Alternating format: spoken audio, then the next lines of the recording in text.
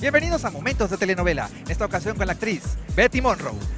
Están durmiendo o se quedan chateando hasta la madrugada. Muchachos, ¿se han puesto a pensar que de ustedes depende el futuro del mundo? Es una maestra, una maestra que da clases a ricos y a pobres y es una mujer súper, súper luchona, madre soltera de dos jóvenes. Ya no me conoces, Ricardo. Nos conocimos estudiando. Ahora tengo dos hijos, casi 40 años, tres trabajos y cientos de deudas. Una mujer mexicana, como muchas mexicanas que somos súper guerreras, que tenemos dos o tres trabajos, que tratamos de sacar adelante, no solamente en lo económico a nuestros chavos, sino que también a darles buenos ejemplos, a demostrarles que la vida es maravillosa siempre y cuando se tengan sueños positivos. A ver, Pato, te estoy hablando de tu hermano Pedro. Además se me están juntando las cosas y tú sales con eso.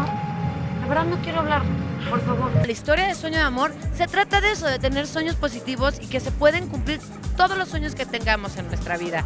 Y, la maestra Esperanza Guerrero, pues no solamente ayuda a sus hijos, sino que también ayuda a sus estudiantes. Entonces está padrísimo porque es una mujer que siempre tiene algo bonito y algo positivo que darle a todas las personas.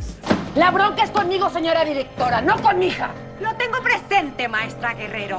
Y entonces la tregua no le funcionó. Lo que usted está haciendo está mal. Me siento identificada con Esperanza porque soy una mujer que trabaja, que tiene tres hijos y que siempre está dándole, este, siempre está trabajando para que sus hijos, en este caso mis hijos, salgan adelante. Y bueno, me siento, me siento muy, me siento bien, me siento como ahí como que hay algo entre Esperanza y, Beatriz, ¿no? Que digo, ay, tengo que trabajar porque necesito esto. Y yo de repente veo a Esperanza que dice, Esperanza no se quiere quedar así, quiere tener más y quiere sacar adelante y dar buen ejemplo. Así es, yo creo que todas las mamás tenemos esa, esa intuición, es una parte que nos sale nata.